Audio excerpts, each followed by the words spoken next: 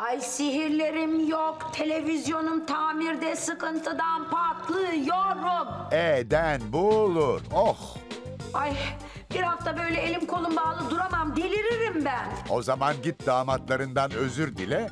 Periliçe seni affetsin. Hayatta dilemem. O zaman sus halinden şikayet etme. Bana göre hava hoş zaten. Senin sihir yapamaman herkesin huzuruna. Bana bak Taci, senin dilin fazla uzamaya başladı. Sihirlerimi geri alınca senden kürk yapmayayım. Oo, bakıyorum Dudu Hanım inadın inat.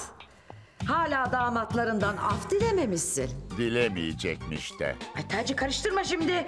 Affı çıkan peri olmuş mu? Sen hariç bütün periler affedildi. E, ya döndü peri?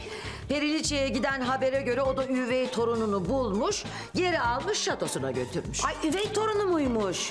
Şekerim Periliçe'nin söylediğine göre bilmem kaçıncı kocasının ilk evliliğinden olan oğlunun çocuğuymuş. Ya ne fark eder? İster öz olsun ister üvey olsun. Ha bir çocuk sokağa bırakılır mı? Gördünüz mü Taci Bey? Kadın hiç de kötü değilmiş işte. Torununu geri almış.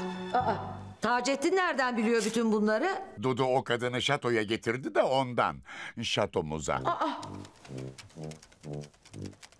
Los bombos dilekos. Ay inanamıyorum yine bir şey olmadı. En iyisi Eda'yı aramak.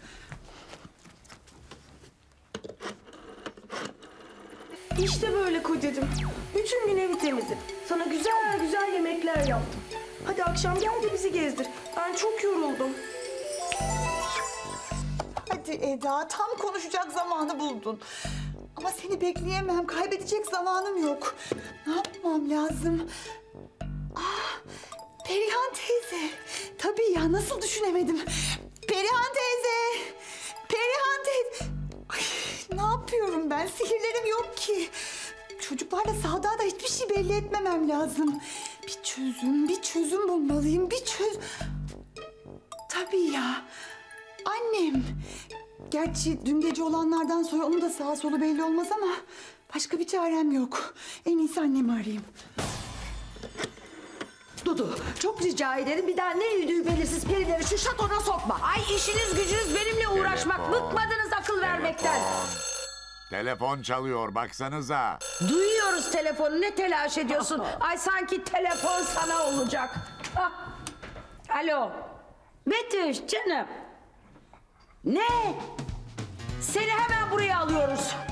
Dudu ne olmuş? Üvey babaannesi çileyi alıp götürmüş. Ne? aşkına? Evet giderken de Betüş'ün sihirli kolyesini almış ve onu sihirsiz bırakmış. Zavallı Betüş hiçbir yere kımıldayamıyormuş. O, o zaman hemen Betüş'ü buraya alalım bize olup biteni anlatsın.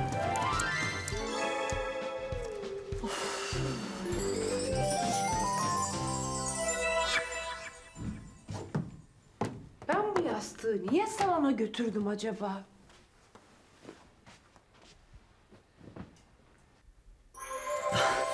Anne Perihan teyze. Ne oldu Betüş ne oldu? Anlat kızım çileyi kim götürdü? Üvey babaannesi. Ay görseniz öyle kötü bir kadın ki. Nereye götürdü? Bilmiyorum, bilmiyorum. Ama sihirli güçlerimi aldı. Onların peşinden gidemedim. Yani Çile'ye bir şey yapar, kızımı bir daha göremem diye çok korkuyorum. Ay korkma canım eninde sonunda buluruz.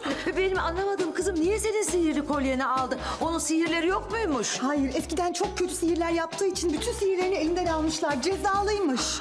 Cezalı mıymış? Neymiş neymiş? Ay, bir dakika bir dakika. Çileğin üvey babaannesi mi dedin?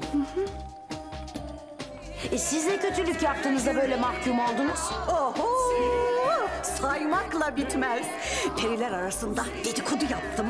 Ondan sonra benden başka kimseyi sevmesinler diye kalplerini sihirle mühürledim. Kendime aşık ettiğim 32 faniyle evlendim. E maşallah. Bunlardan tam 97 çocuğum oldu. Ama hiçbirine bakmadım.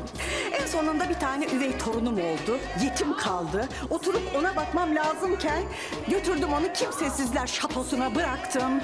İşte benim de bugüne kadar yaptığım en büyük kötülük oydu. Yoksa sihirli küreden aradığı torunu... Periler aşkına. Neler oluyor? Lütfen bana da söyler misiniz? Betüş gel. Sihirli aynadan sana birini göstereceğim. Bak bakalım bugün tanıştım o kadınla. Acaba Çileğin üvey babaannesi dedikleri o mu? Eğer o çıkarsa onu doğduğuna pişman ederim.